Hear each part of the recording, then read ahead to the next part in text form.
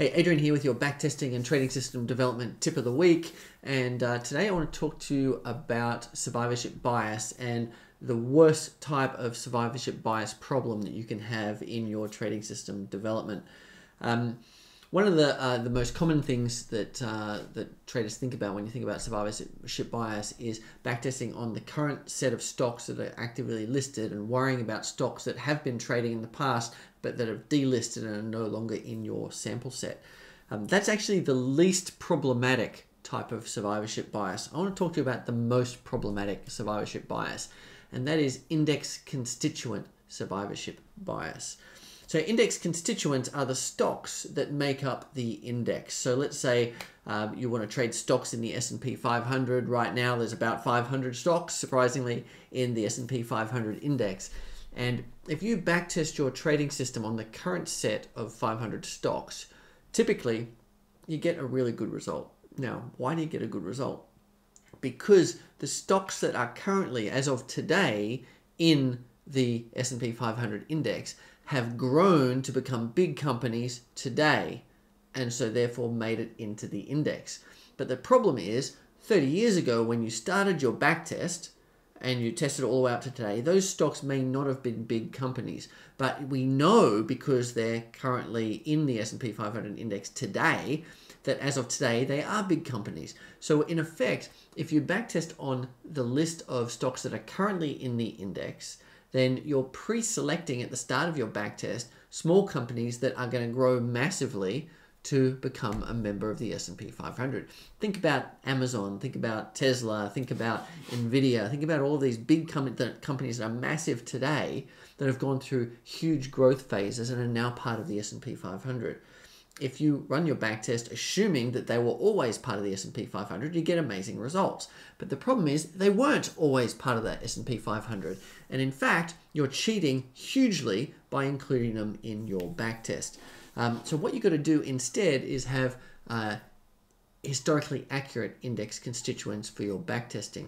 So if you want to test on the um, stocks that are that are in the S&P 500 index, then every day of your backtest for the last 30 years or however long you're backtesting for, you need to validate which list of stocks is currently on that day in the index and only take buy signals or, shorting signals from those stocks. And then the next day, the same thing, revalidate what companies are in the list, which ones are not, and only take signals from those stocks, and so on every single day.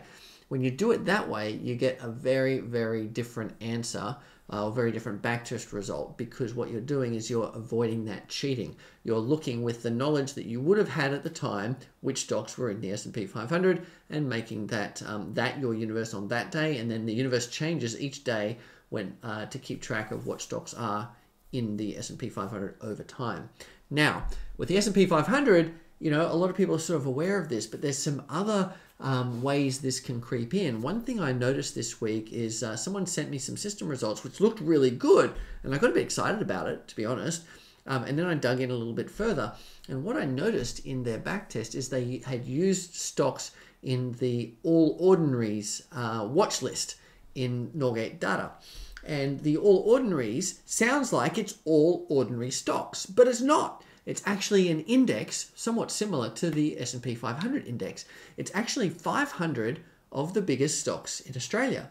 And if you backtest on the current list of all ordinaries, you are cheating, just like you would be if you backtest on the current list of the S&P 500 stocks. So you need to be very cautious. If you're using anything other than the entire market to backtest your results, you need to be very careful and make sure you're using historically accurate index constituents. Now, where do you get this data from? You get it from Norgate. And uh, below this video, I'll give you a link. Um, you can go and get a trial or, or, or get uh, a subscription to Norgate data. You need the uh, platinum subscription to get the historically accurate index constituents.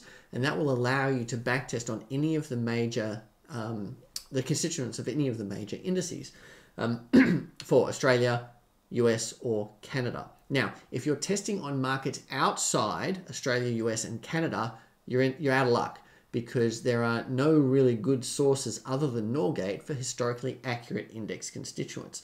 So if you're backtesting on any other markets, Hong Kong, Japan, any of the European markets, and so on, unless you've found yourself a source of the historically accurate index constituents, what you should do is backtest over the entire market, all stocks that are currently listed, because that eliminates this um, survivorship bias problem. Of course, you're left with the survivorship bias problem of you're only backtesting stocks that are currently listed, but I've tested and compared um, uh, backtest with currently listed stocks and currently and delisted stocks. And actually, that survivorship bias is, is not very much of a problem. The index uh, constituent survivorship bias is a far bigger problem. So you want to avoid that one at all costs. So that's today's uh, trading system development and backtesting tip. Be cautious what list you're backtesting on. And if you're doing anything other than, than the entire market, make sure you're not falling victim to uh, that survivorship bias, and you, you, should instead be using the historically accurate index constituents. Hope that helps. My name is Adrian Reid. This is Enlightened Stock Trading, and if you want to know more, click one of the links below, and uh, I'll see if I can help you out. See you next time. Bye for now.